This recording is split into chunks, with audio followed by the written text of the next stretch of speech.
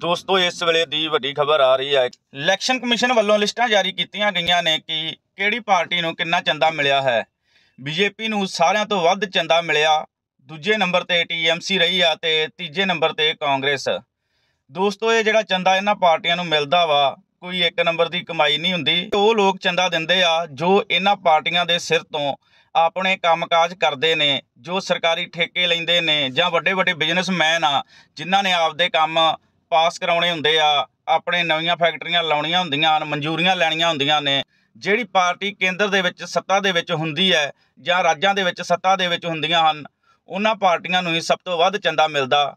ਕਿ ਬੀਜੇਪੀ ਕੇਂਦਰ ਦੇ ਵਿੱਚ, ਸੱਤਾ ਦੇ ਵਿੱਚ ਸੀ, ਇਸ ਕਰਕੇ ਉਸ ਨੂੰ ਸਭ ਤੋਂ ਵੱਧ ਚੰਦਾ ਮਿਲਿਆ 60 ਅਰਬ ਰੁਪਏ ਤੋਂ ਵੱਧ ਚੰਦਾ ਉਸ ਨੂੰ ਮਿਲਿਆ ਹੈ ਇਲੈਕਸ਼ਨ ਕਮਿਸ਼ਨ ਵੱਲੋਂ ਲਿਸਟ ਜਾਰੀ ਕਰ ਦਿੱਤੀ ਗਈ ਆ, ਬੀਜੇਪੀ ਨੂੰ ਸਭ ਤੋਂ ਵੱਧ ਚੰਦਾ ਮਿਲਿਆ ਹੈ। ਇਸ ਗੱਲ ਤੋਂ ਤੁਸੀਂ ਅੰਦਾਜ਼ਾ ਲਾ ਸਕਦੇ ਜੋ ਕਿ ਬੀਜੇਪੀ ਕਿੱਡੇ ਵੱਡੇ ਲੈਵਲ ਤੇ ਇਸ ਚੋਣਾਂ ਦੇ ਵਿੱਚ ਆਪਣਾ ਪ੍ਰਚਾਰ ਕਰੇਗੀ, ਕਿੰਨਾ ਪੈਸਾ ਖਰਚ ਕਰੇਗੀ? ਕਿਉਂਕਿ 60 ਅਰਬ ਬਹੁਤ ਜ਼ਿਆਦਾ ਪੈਸਾ ਹੁੰਦਾ ਜੋ ਬੀਜੇਪੀ ਇਸ ਵਾਰ ਚੋਣਾਂ ਦੇ ਵਿੱਚ ਖਰਚ ਕਰੇਗੀ। ਪਹਿਲੇ ਨੰਬਰ ਦੇ ਉੱਤੇ ਪੂਰੇ ਦੇਸ਼ ਵਿੱਚੋਂ ਬੀਜੇਪੀ ਨੂੰ ਚੰਦਾ ਮਿਲਿਆ ਹੈ ਬਾਕੀ ਜਿਹੜੀਆਂ ਦੂਸਰੀਆਂ ਦੇਸ਼ ਵਿੱਚ ਪਾਰਟੀਆਂ ਹਨ, ਉਹਨਾਂ ਨੂੰ ਬਹੁਤ ਹੀ ਘੱਟ ਚੰਦਾ ਮਿਲਿਆ। ਦੂਜੇ ਨੰਬਰ ਤੇ ਟੀਐਮਸੀ ਮਮਤਾ ਬੈਨਰਜੀ ਜੋ ਪਾਰਟੀ ਹੈ, ਉਹ ਰਹੀ ਹੈ ਅਤੇ ਕਾਂਗਰਸ ਜੋ ਕਿਸੇ ਵਕਤ ਸਭ ਤੋਂ ਵੱਡੀ ਪਾਰਟੀ ਹੁੰਦੀ ਸੀ, ਉਹ ਤੀਸਰੇ ਨੰਬਰ ਤੇ ਰਹੀ ਹੈ। ਚੰਦਾ ਮਿਲਣ ਦੀ ਲਿਸਟ ਦੇ ਵਿੱਚ ਕਾਂਗਰਸ ਤੀਸਰੇ ਨੰਬਰ ਤੇ ਹੈ। ਬਾਕੀ ਜਿਹੜੀਆਂ ਦੇਸ਼ ਦੀਆਂ ਹੋਰ ਪਾਰਟੀਆਂ ਹਨ, ਉਹ ਉਸ ਤੋਂ ਥੱਲੇ ਹਨ। 763 ਪੰਨਿਆਂ ਦੀ ਲਿਸਟ ਇਲੈਕਸ਼ਨ ਕਮਿਸ਼ਨ ਨੇ ਜਾਰੀ ਕੀਤੀ ਹੈ। ਦੋ ਵਾਰ ਇਹ ਜਾਣਕਾਰੀ ਹੁਣੇ-ਹੁਣੇ ਇਲੈਕਸ਼ਨ ਕਮਿਸ਼ਨ ਵੱਲੋਂ ਆਈ ਸੀ। ਸੋਚਿਆ ਤੁਹਾਡੇ ਨਾਲ ਸ਼ੇਅਰ ਕਰ ਦਿੱਤੀ ਜਾਵੇ।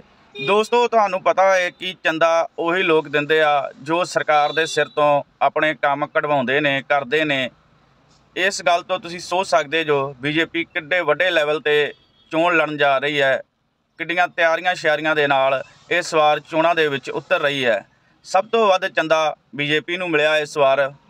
ਦੋਸਤੋ, ਇਸ ਵੇਲੇ ਦੀ ਵੱਡੀ ਖਬਰ ਆ ਰਹੀ ਹੈ। ਇਲੈਕਸ਼ਨ ਕਮਿਸ਼ਨ ਵੱਲੋਂ ਲਿਸਟਾਂ ਜਾਰੀ ਕੀਤੀਆਂ ਗਈਆਂ ਨੇ ਕਿ ਕਿਹੜੀ ਪਾਰਟੀ ਨੂੰ ਕਿੰਨਾ ਚੰਦਾ ਮਿਲਿਆ ਹੈ। ਬੀਜੇਪੀ ਨੂੰ ਸਾਰਿਆਂ ਤੋਂ ਵੱਧ ਚੰਦਾ ਮਿਲਿਆ। ਦੂਜੇ ਨੰਬਰ ਤੇ ਟੀਐਮਸੀ ਰਹੀ ਆ ਤੇ ਤੀਜੇ ਨੰਬਰ ਤੇ ਕਾਂਗਰਸ। ਦੋਸਤੋ, ਇਹ ਜਿਹੜਾ ਚੰਦਾ ਇਹਨਾਂ ਪਾਰਟੀਆਂ ਨੂੰ ਮਿਲਦਾ ਵਾ, ਕੋਈ ਇੱਕ ਨੰਬਰ ਦੀ ਕਮਾਈ ਨਹੀਂ ਹੁੰਦੀ। ਉਹ ਲੋਕ ਚੰਦਾ ਦਿੰਦੇ ਆ, ਜੋ ਇਹਨਾਂ ਪਾਰਟੀਆਂ ਦੇ ਸਿਰ ਤੋਂ ਆਪਣੇ ਕੰਮਕਾਜ ਕਰਦੇ ਨੇ, ਜੋ ਸਰਕਾਰੀ ਠੇਕੇ ਲੈਂਦੇ ਨੇ ਜਾਂ ਵੱਡੇ ਵੱਡੇ ਬਿਜ਼ਨਸਮੈਨ ਆ, ਜਿਨ੍ਹਾਂ ਨੇ ਆਪਦੇ ਕੰਮ ਪਾਸ ਕਰਾਉਣੇ ਹੁੰਦੇ ਆ, ਆਪਣੇ ਨਵੀਆਂ ਫੈਕਟਰੀਆਂ ਲਾਉਣੀਆਂ ਹੁੰਦੀਆਂ ਹਨ, ਮਨਜ਼ੂਰੀਆਂ ਲੈਣੀਆਂ ਹੁੰਦੀਆਂ ਨੇ। ਜਿਹੜੀ ਪਾਰਟੀ ਕੇਂਦਰ ਦੇ ਵਿੱਚ, ਸੱਤਾ ਦੇ ਵਿੱਚ ਹੁੰਦੀ ਹੈ ਜਾਂ ਰਾਜਾਂ ਦੇ ਵਿੱਚ, ਸੱਤਾ ਦੇ ਵਿੱਚ ਹੁੰਦੀਆਂ ਹਨ, ਉਹਨਾਂ ਪਾਰਟੀਆਂ ਨੂੰ ਹੀ ਸਭ ਤੋਂ ਵੱਧ ਚੰਦਾ ਮਿਲਦਾ। ਕਿ ਬੀਜੇਪੀ ਕੇਂਦਰ ਦੇ ਵਿੱਚ, ਸੱਤਾ ਦੇ ਵਿੱਚ ਸੀ, ਇਸ ਕਰਕੇ ਉਸ ਨੂੰ ਸਭ ਤੋਂ ਵੱਧ ਚੰਦਾ ਮਿਲਿਆ। 60 ਅਰਬ ਰੁਪਏ ਤੋਂ ਵੱਧ ਚੰਦਾ ਉਸ ਨੂੰ ਮਿਲਿਆ ਹੈ। ਇਲੈ- ਇਲੈਕਸ਼ਨ ਕਮਿਸ਼ਨ ਵੱਲੋਂ ਲਿਸਟ ਜਾਰੀ ਕਰ ਦਿੱਤੀ ਗਈ ਆ। ਬੀਜੇਪੀ ਨੂੰ ਸਭ ਤੋਂ ਵੱਧ ਚੰਦਾ ਮਿਲਿਆ ਹੈ। ਇਸ ਗੱਲ ਤੋਂ ਤੁਸੀਂ ਅੰਦਾਜ਼ਾ ਲਾ ਸਕਦੇ ਜੋ ਕਿ ਬੀਜੇਪੀ ਕਿੱਡੇ ਵੱਡੇ ਲੈਵਲ ਤੇ ਇਸ ਚੋਣਾਂ ਦੇ ਵਿੱਚ ਆਪਣਾ ਪ੍ਰਚਾਰ ਕਰੇਗੀ, ਕਿੰਨਾ ਪੈਸਾ ਖਰਚ ਕਰੇਗੀ?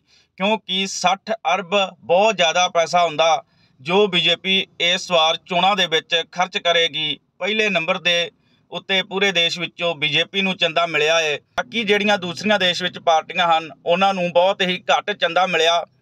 ਦੂਜੇ ਨੰਬਰ ਤੇ ਟੀਐਮਸੀ ਮਮਤਾ ਬੈਨਰਜੀ ਜੋ ਪਾਰਟੀ ਹੈ, ਉਹ ਰਹੀ ਹੈ। ਅਤੇ ਕਾਂਗਰਸ ਜੋ ਕਿਸੇ ਵਕਤ ਸਭ ਤੋਂ ਵੱਡੀ ਪਾਰਟੀ ਹੁੰਦੀ ਸੀ, ਉਹ ਤੀਸਰੇ ਨੰਬਰ ਤੇ ਰਹੀ ਹੈ। ਚੰਦਾ ਮਿਲਣ ਦੀ ਲਿਸਟ ਦੇ ਵਿੱਚ ਕਾਂਗਰਸ ਤੀਸਰੇ ਨੰਬਰ ਤੇ ਹੈ। ਬਾਕੀ ਜਿਹੜੀਆਂ ਦੇਸ਼ ਦੀਆਂ ਹੋਰ ਪਾਰਟੀਆਂ ਹਨ, ਉਹ ਉਸ ਤੋਂ ਥੱਲੇ ਹਨ। 763 ਪੰਨਿਆਂ ਦੀ ਲਿਸਟ ਇਲੈਕਸ਼ਨ ਕਮਿਸ਼ਨ ਨੇ ਜਾਰੀ ਕੀਤੀ ਹੈ। ਦੋ ਵਾਰ ਇਹ ਜਾਣਕਾਰੀ ਹੁਣੇ-ਹੁਣੇ ਇਲੈਕਸ਼ਨ ਕਮਿਸ਼ਨ ਵੱਲੋਂ ਆਈ ਸੀ। ਸੋਚਿਆ ਤੁਹਾਡੇ ਨਾਲ ਸ਼ੇਅਰ ਕਰ ਦਿੱਤੀ ਜਾਵੇ। ਦੋਸਤੋ, ਤੁਹਾਨੂੰ ਪਤਾ ਹੈ ਕਿ ਚੰਦਾ ਉਹੀ ਲੋਕ ਦਿੰਦੇ ਆ ਜੋ ਸਰਕਾਰ ਦੇ ਸਿਰ ਤੋਂ ਆਪਣੇ ਕੰਮ ਕਢਵਾਉਂਦੇ ਨੇ, ਕਰਦੇ ਨੇ। ਇਸ ਗੱਲ ਤੋਂ ਤੁਸੀਂ ਸੋਚ ਸਕਦੇ ਜੋ ਬੀਜੇਪੀ ਕਿੱਡੇ ਵੱਡੇ ਲੈਵਲ ਤੇ ਚੋਣ ਲੜਨ ਜਾ ਰਹੀ ਹੈ। ਕਿੱਡੀਆਂ ਤਿਆਰੀਆਂ ਸ਼ਿਆਰੀਆਂ ਦੇ ਨਾਲ ਇਸ ਵਾਰ ਚੋਣਾਂ ਦੇ ਵਿੱਚ ਉਤਰ ਰਹੀ ਹੈ। ਸਭ ਤੋਂ ਵੱਧ ਚੰਦਾ ਬੀਜੇਪੀ ਨੂੰ ਮਿਲਿਆ ਇਸ ਵਾਰ